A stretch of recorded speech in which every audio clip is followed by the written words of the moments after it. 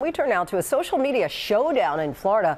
Governor Ron DeSantis signing a bill banning children under 14 from having their own social media accounts, but it's expected to face a number of legal challenges. And Ariel Reshev joins us now with more. I can imagine a bumpy road ahead. A bumpy road ahead. A lot of very strong opinions on this one. If this law holds, Florida will have one of the most restrictive social media bans in the country. The bill signed by Governor Ron DeSantis won't take effect until January 1st and is likely to face major legal legal challenges.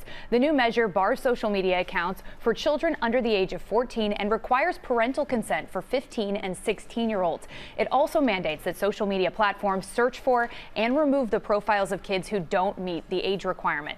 Proponents have argued that access to social media is harmful to children's mental health. It's not yet clear which social media companies would be impacted, but the trade group NetChoice, which represents several major social media giants, slammed the move as unconstitutional, saying it violates the First Amendment, the Equal Protection Clause of the 14th Amendment, and federal law. Florida, it's not the first state to enact this type of ban. Arkansas and Ohio have also passed similar legislation, Linsey, but both are tied up in court. And it's so a battle ahead. Interesting to see how they're going to regulate that. How do you monitor and decide who's old enough? All great questions. A lot of people want to know the answers to. All right, Ariel, our thanks to you.